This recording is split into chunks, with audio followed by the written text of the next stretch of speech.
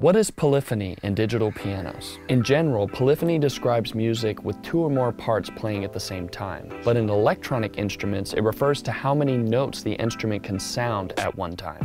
Okay, so what does that mean? Well, let's take an example. Let's say we have an instrument with a 16 note polyphony. That instrument can sound 16 notes at a time, but as soon as you were to play 17 notes, an original note would drop out. Now a 16 note polyphony is not even close to what most digital pianos have today. They have a lot higher polyphonies, the most common being 128, 256 note polyphonies, but some digital pianos even have unlimited polyphony.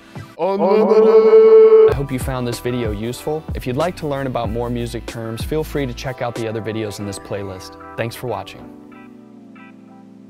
Unlimited! I was I, I realized right before I was about to say it, it was going to start to sound a little unlimited. What's the deal? What's the deal about unlimited polyphony?